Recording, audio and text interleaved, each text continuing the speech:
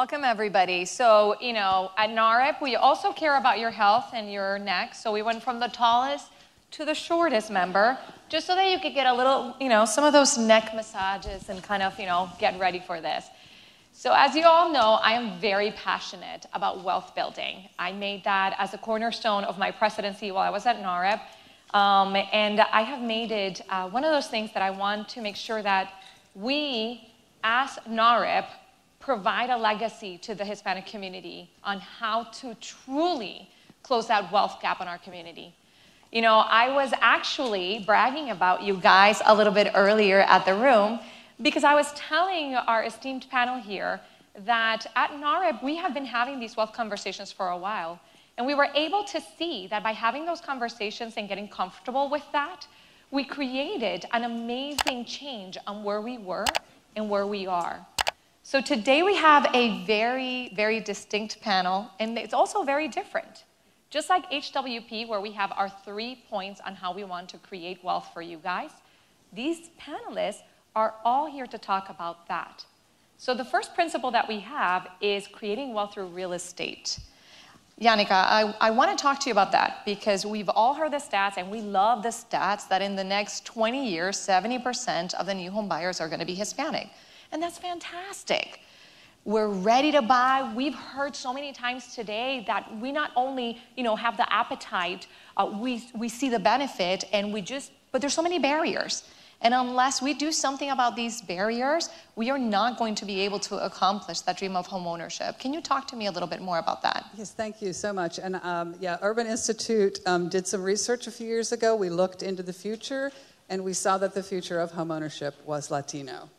Um, and this had a lot to do with the demographics of the population. I can give some overarching numbers here, and we have a lot of numbers at the Urban Institute, but this is such an incredible resource, and I just love it every year when this report comes out. We learn so much from it too. So this is definitely a, a, a shared effort to get these the right stats and figures out.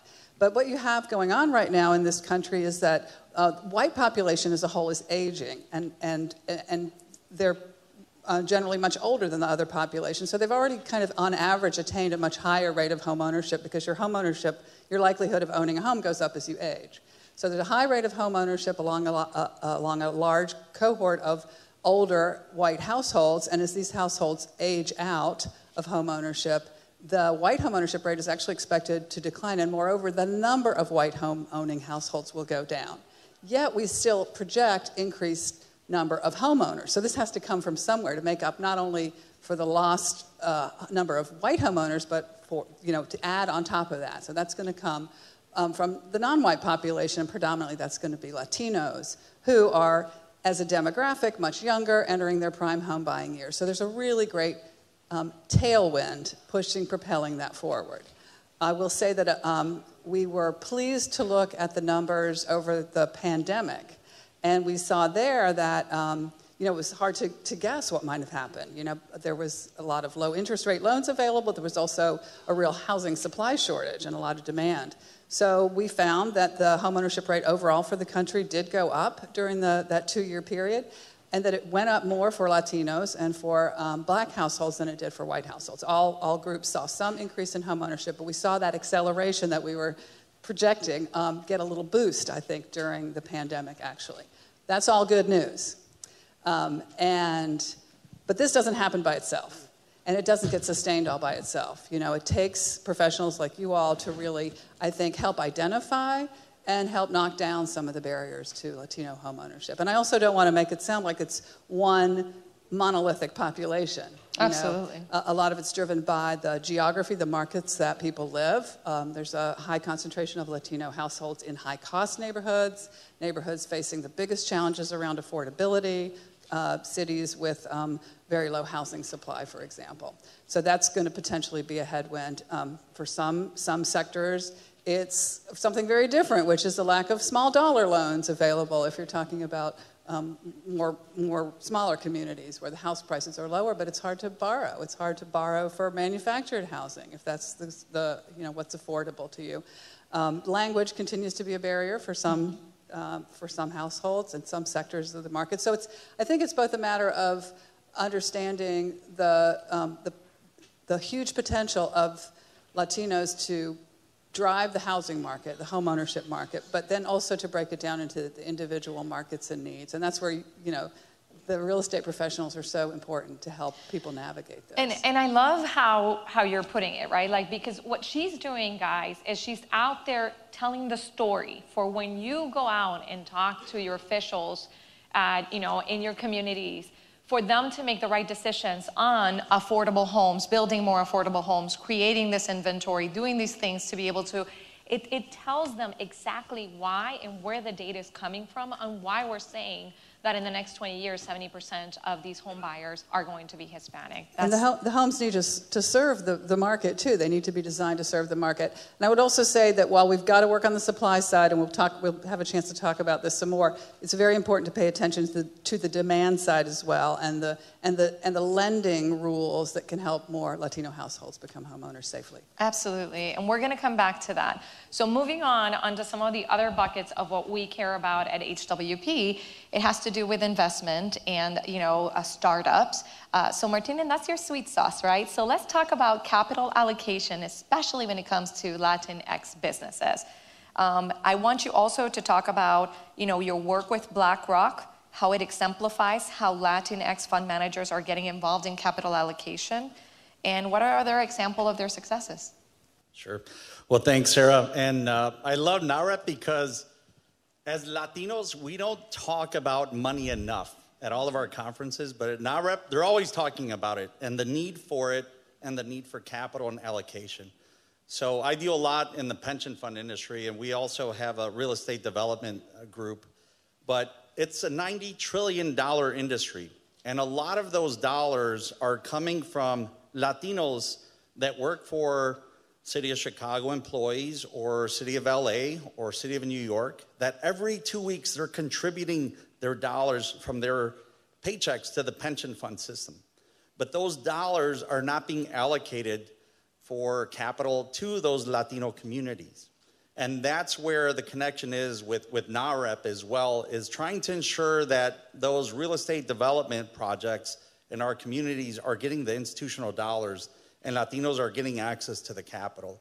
So it is something that, you know, it, it's very much needed, but that's where the growth area is as well. It's educating a lot of our elected officials to focus in on some of those dollars to get the, the capital so that it can be allocated to those projects and those affordable housing projects that they are funded and that there's kind of subs- subsidies there for it. So it's something that's extremely important, but Nobody talks think, about it. So when you think about state of California, 42% of the population is Latino. So every two weeks, those dollars are going into the CalPERS pension fund. But when you look at how many of those Latino real estate funds are actually managing the assets, it's about one tenth of 1%. So not even like a penny of every dollar, it's a tenth of a penny of every dollar. But that's where folks kind of in this room can tap into some of those uh, capital dollars for some of those projects, whether they're apartments uh, or even kind of office and other real estate projects. We know our communities. We know that folks are growing and they're, they're bringing retail as well. So there are great opportunities out there. So it's tapping into it. And I think going back to the point of BlackRock, BlackRock is probably the largest institutional company in the world. They have about $10 trillion. So they saw this opportunity that Latinos and Latino developers and black developers don't have access to capital and the equity checks. So they started up a fund to fund those black and Latino uh, developers where their checks, they're looking to allocate 20 to 50 million in some of those underserved communities that are going to be impactful. And we've worked closely with BlackRock for the last probably 12 years or so and we're helping them find deals around the country that they can go out there and fund. They're not looking to be the majority, they're looking to be the minority, but they want to help facilitate those development projects, especially if it's focused on impact. They are, are allocating those dollars and not just to real estate development, but also to Latino companies.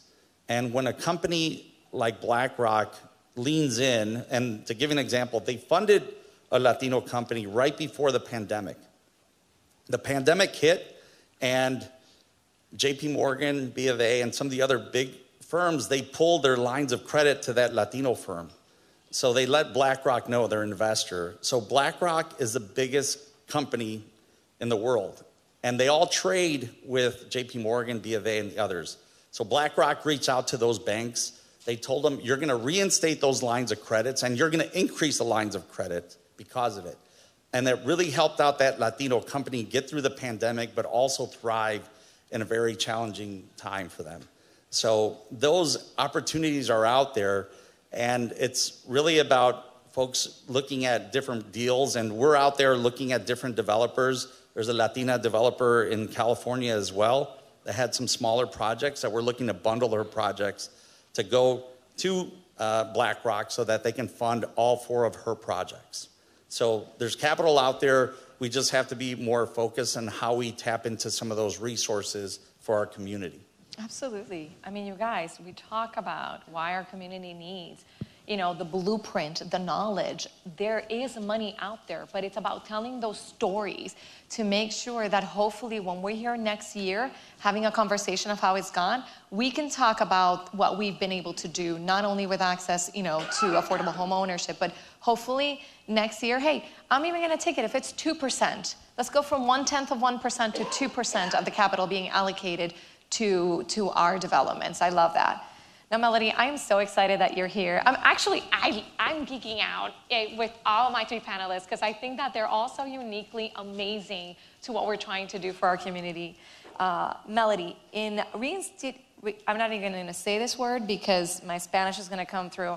Reinstituting the White House Hispanic Initiative, uh, President Joe Biden expanded your office scope to focus not only on education, which is very important, but something that I'm very excited about, on equity and economic opportunity for Hispanics. What does that work look like, and what are some of the efforts underway that might be of interest to my NAHREP community? Gracias, Sara, and thanks to, to NAHREP for inviting me. I'm really thrilled to be here because I absolutely love my job. I tell people I have the longest title, but also the funnest job in government. So I am executive director of what President Biden has reinstituted to be the White House Initiative on Advancing Educational Equity, Excellence, and Economic Opportunity for Hispanics. And we're housed under the U.S. Department of Education. Yes, right? And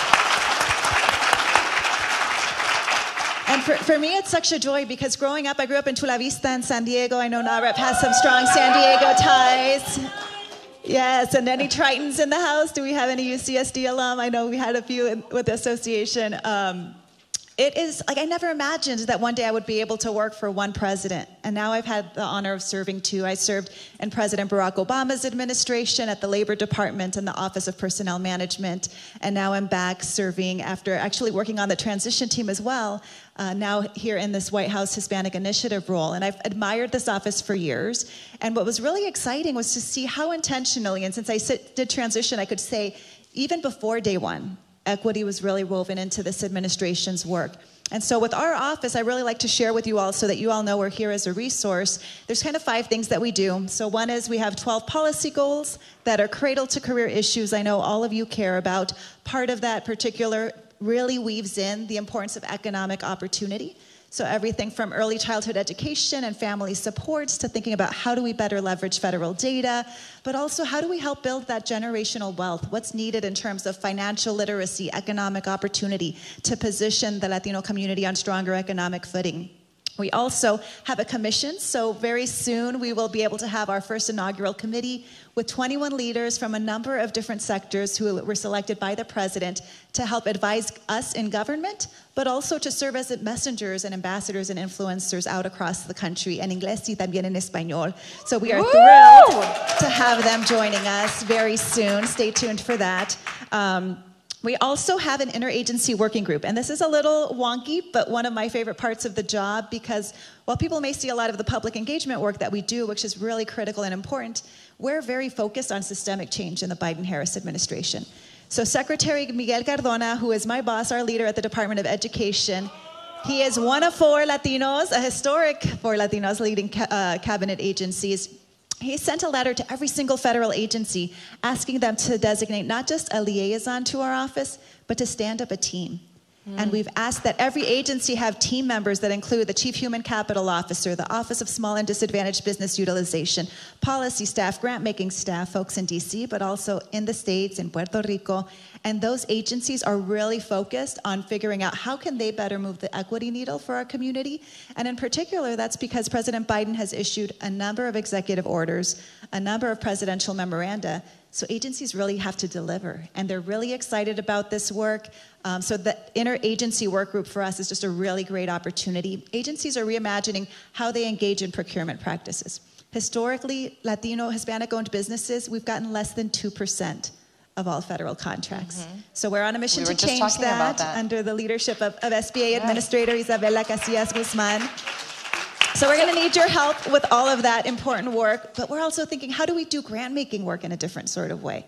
How do we make sure with our offices of civil rights we're breaking down those barriers to access and engagement with our agencies? So that interagency work group is really great. Um, we also spend a lot of time supporting our Department of Education and Secretary Miguel Cardona's priorities. And for those who haven't heard Miguel Cardona speak yet, I encourage you to come to our website or check it out on YouTube, watch him on the news. He makes a number of appearances. He is a father, an educator, and somebody who is so rooted in what's needed to address not just the equity issues of today, but the issues that have existed, uh, disparities that have existed even pre pandemic. Um, so it's really exciting. A few of his big priorities right now, he's really talking a lot about this vision around raise the bar, lead the world. You know, so this he's really big on a few things that I know everybody in this room cares about. Academic recovery, mental health, boldly closing achievement gaps, recruiting and retaining a more diverse teaching profession, which we know is so critical for our Latino community, but also really leaning in meaningfully to building a more multilingual America. And this is really exciting for a lot of us who are Latinos, Latinas, and bilingual because he often talks about how being bilingual is our superpower. And it's not just about helping English learners speak from their native language in English, but everybody should be multilingual. We have to be multilingual in this global economy. Yeah. And then the, the, last piece of our work, too, that I would share is, is really public engagement. And so we are on a mission to, in English and in Spanish, make sure we're sharing all of the federal resources. There is so much happening in this administration. Um, for example, at the Department of Ed, we've canceled more student loans than any administration in history. We, through the Public Service Loan Forgiveness Program, have canceled people's student loans that paid 120 on time payments, did their 10 years of public service jobs. Like Diana Cava, one of my friends who we've done some panels with, she had $180,000 of her student loans canceled because she's been working in the nonprofit sector, she's paid on time, and she was able to benefit from this program. So we're on a mission to make sure people know about these programs and stories like the Anna's because sometimes they think these programs might be too good to be true. And so it's stories like the Anna's, stories like you, the ones that you all share, that really help us make sure we're mobilizing our community to take advantage of the programs, especially programs that mean dollars for our community. And so one of the great things we did last year, Martin was a part of this in Chicago. Our White House Hispanic Initiative worked with the Aspen Institute and their Latinos in Society program through a memorandum of understanding. And we went out around the country and did six White House Initiative Latino Economic Summits. We had the First Lady, Dr. Jill Biden, three of our Latino cabinet secretaries out on the road, about a dozen federal agencies talking about jobs, procurement, energy, climate justice, a lot of great work that's happening. And we were able to engage people all across the country because not only were these events held in cities, but people flew across country or drove across state lines to make it to these different events. And for me, what's exciting is that yes, we're sharing these historic federal injections of dollars, the programs and the resources. But what's really exciting to me are just those human moments of connection. And after these summits would end, people would just spend, you know, minutes in, in line to chat with me and our federal colleagues because they wanted to learn more about federal opportunities, internships, jobs, they didn't know that there were people that looked like us with stories like theirs who serve as presidential appointees. Like you all could be considering, and I hope you do consider applying as presidential appointees because we've got full time jobs, but also boards and commissions. And especially um, touching for me are like the stories with students. And one special story that will always stay with me is that after our summit in El Paso, there was a young intern who was really excited after the event, and I asked her why. And she said, I've never heard or seen so many Latinos share how our culture and our language are professional assets. And so we can talk about numbers. Like we've now grown our email list significantly because of all the student loan cancellation news. We can talk about the grants and new programs that are going out. But for me also it's it's those special stories. Like that young Latina now knows the sky's the limit. And so it's really powerful to be in a place where we can help with that. And I think that's why it's so important that we're having these conversations, you guys, because you are the trusted advisors that are actually out there impacting your communities. I remember when the PPP programs came out, a lot of the bodegas, a lot of the Spanish, uh, you know, uh, small businesses didn't know that that was for them. They thought it was for somebody else, or they didn't know what to do with it. And our people, our members, were the one that actually hit out to their communities to help them get through that. So let's shift a little bit back into homeownership, especially housing affordability. Um, that, of course, remains a major stumbling block to increasing homeownership. What can be done to incentivize new construction with better lending terms, embrace manufactured housing, and maybe improve financing for existing homes? Well, that's, that's a lot, but I think your question really um, covers the thing I said before about you, you can't think about just supply without making sure that the people that you want to see buy the homes are in a position to get the financing to do it. You can't just think about the loans if there's no homes for them to buy. And we are sitting here uh, a deficit, I think, that's increasing now in number of total housing units, including rental and home ownership. Uh, that's been building since after the foreclosure crisis. So building and, and new home starts, as well as mobile home shipments, fell dramatically in 2008 and have really stayed lower over the last 15 years than they were in the half century before that on a per capita basis. So we are just looking at a, a deficit that took a long time to, to get there, and it's going to take a bit of time to dig our way out and to put more ho- housing online. So there is just, you know, not letting up, not taking off any pressure, calls for local officials all the way up to the national level. The Biden administration has a, has a, a sharp eye on housing supply and initiative around that, but we also need local level initiatives to correspond with that and capital that you describe here and local developers particularly who tend to build homes more in the affordable uh, price Space. point range. That's right. So all of that's happening. In the meantime, thinking about how do people get the financing they need. You know, over the two years of the pandemic, at the median, Latino households who owned homes saw their home values go up by 25%. And that's um, a lot, considering, especially because most of them are not, they've put down less than, you know, less than 20% to buy that home in the first place. So it's a tremendous, and I know that's not why people own homes, just to get rich off of them, but it is a tremendous wealth building tool over the long term. Um, a lot of households don't know about down payment assistance programs that can help them get down for, for 5%, get into a home for 5% or less down. And this is particularly where real estate agents can become so crucial in connecting households with those kind of local resources. Um, it, there is, I can, uh, there's a, a resource called downpaymentresource.com where you can look up and see what down payment assistance programs are available in your area, downpaymentresource.com. Um, and so that's one tool that you can use to help connect folks. Um, another area in financing side that's um, particularly relevant for this market is um, alternative credit. A lot of Latinos are credit invisible, so called, meaning they haven't really had the opportunity to build a, enough traditional lines of credit that show up on a report to get a FICO.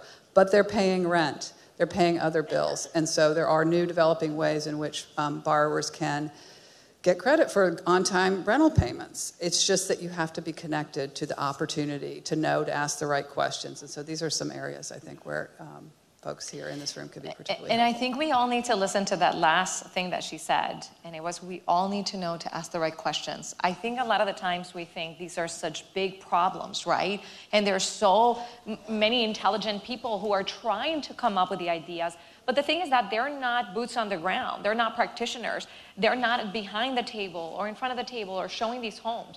So it's very important that we have a partnership with you know, government, with other institutions, telling them the stories on how some of these things can affect the real life and what we're doing. So I think that's incredible. That and, and homebuyer education is a piece of that as well. Absolutely, I think so. And I think our membership hits very hard when it comes to financial education to the consumer.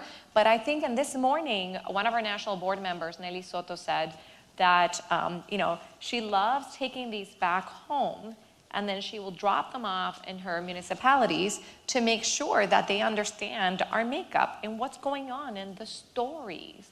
This is not just something for us to Instagram and look pretty and we look so smart because we have these stats.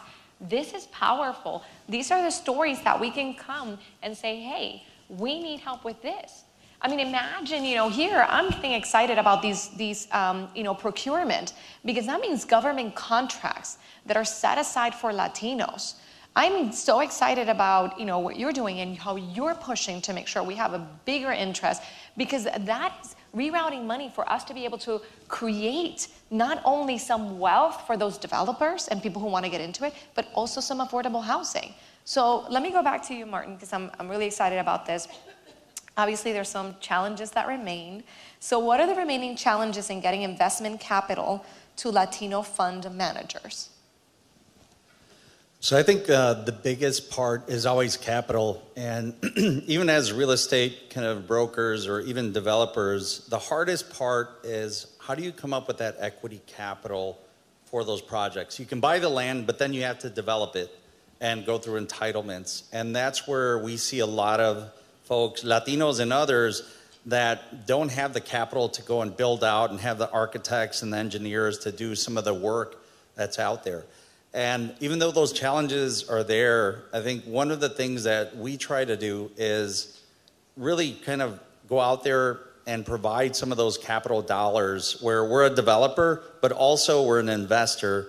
And the one thing that helped us out is that we would we knew how to build the capital stack from the bond transactions for some of the, the TIF dollars, but also with some of the bonds for infrastructure and also for the city to leverage them to go out and issue bonds for the project because that project is going to generate revenues and that will be going back to the city's coffers in tax dollars.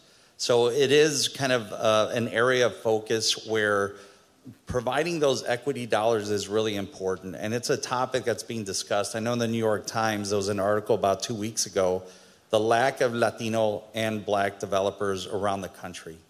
And when you think about it, it's our tax dollars that are going into the system. And we're good enough to put into those pension fund dollars every two weeks, but we're not good enough to manage the assets. So it's like a one way street, and it's not coming back and helping us to go out there and develop some of those projects. And for the pension funds, they're going to look at the skyscrapers and the very high end, you know, residential housing but we know our markets, whether it's in Little Village in Chicago or East LA or different parts of Miami and New York and Texas. We know that there's good opportunities to invest. It's not a token minority program. This is where people can put their dollars and make good returns, and they're good kind of just like investments to make. That's where the challenge comes. That's where you have to keep pushing. And it comes from the federal side, it comes from the state side and the city and county side as well, that they're all contributing to help with those, those dollars and funding those, those gaps. Because without it, it's, it's not going to be possible. But there's other firms that are out there that are also looking. So when we're developing, it might be a stadium, and now we're looking at a couple of venues for Latino entertainment. You see Grupo Firme, you see that, you know, Bad Bunny and all these others, they're selling out. And a lot of Anglos in Chicago, they're like the bookies. like, who are these guys? They sold out, you know, Soldier Field for, for three nights. And it's like, yeah, it's a great band. So now you're starting to see our folks that, hey, we don't want to keep renting from some of those venues. We want to build our own. And we want to manage the concessions. And right. that's where it's kind of So that's an important part of it that we are driving this economy. We have to make sure we're getting the capital coming back to us as well for these projects. That we're making the decisions. That we're yes. making the decisions. When you control the money, you can control the agenda. Exactly. And really quickly, because I do have one more question for Melody, but I have to. This is one of my favorite things that I found out about you. Um, because not only does he talk the talk, he walks the walk, guys. So, can you tell us really quickly about your partnership from Cabrera Capital with Lee Elementary in Chicago? Sure. So, we have a big uh, $450 million development with 750 units and commercial in the southwest side. But we went and adopted uh, one of the grammar schools, about 98% uh, Latino kids, but we had to do it for kids like me growing up. I didn't know anything about investments or real estate until I was a senior in high school and I learned about the stock market. But we are actually giving back to, there's about 700 kids in the grammar school, but each of them will get $100 for their 529 plans And then separately, each of the, the grades will get $20,000 from kindergarten through eighth grade, and they get to invest it in stocks. And they'll keep that time so that kindergarten class will invest the $20,000 and they all want to buy Roblox. And, uh, Hey, it's what'd you know? It, it grow, and then after eighth grade, say if it grows to 120,000 from 20,000, they keep the profits. Half the profits go to their 529 plans, and then the other half goes to the school and gets recycled back into the kindergarten. Right? I, impressive panel, you guys. Okay, Melody, last question for you. How can government and private sector work together on economic empowerment efforts um, that you're seeing at the Department of Education and through your initiatives work? Yeah, absolutely. And hopefully you're getting great ideas like what Martin just shared. There's so much opportunity. And I really encourage you to go back home and think how might we break down some of these silos that exist in our community to really more meaningfully advance equity for, for Latinos? And from my perspective, there are some really great sort of ways that I'd love to just kind of plant some seeds in case any of those resonate with you all. First, of course, I love the MOU that we were able to do with Aspen Institute. So some agencies like ours are able to do MOUs and accept gift funds. Like that's something I'd love to try to build more on because I'd love to be able to build some stronger White House Hispanic Initiative, Latino leadership programs, have more paid interns. There's also pathways where we can bring experienced professionals in to also have like a detailed assignment in government. So there's ways that we can do MOUs and gift funds to really work on different sort of strategic initiatives. Um, Secretary Cardona was just at South by Southwest, also with Eva Longoria and others, um, talking about another similar example to what Martin shared, where in Los Angeles, there is the Roybal Film and Television Magnet School, named after former Congressman Roybal.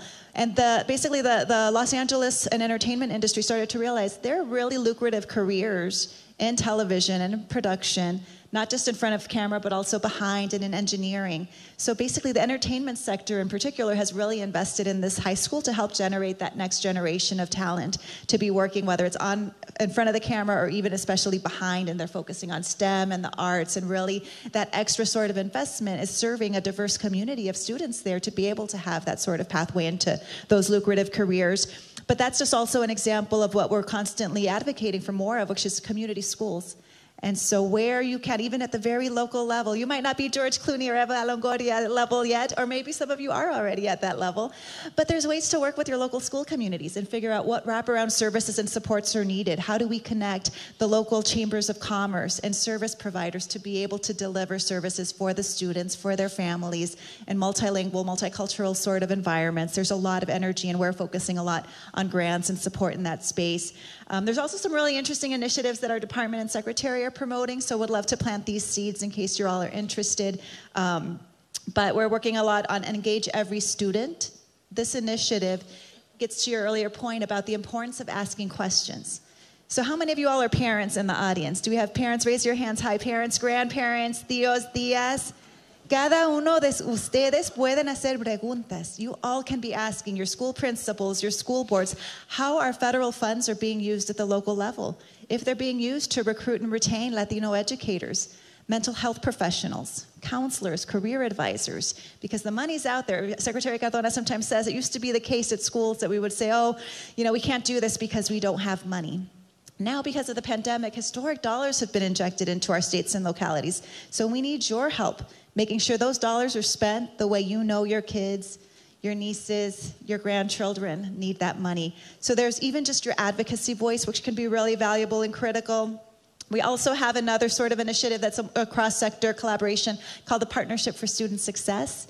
And this is in response to President Biden's call for 250,000 more caring adults to step into young people's lives.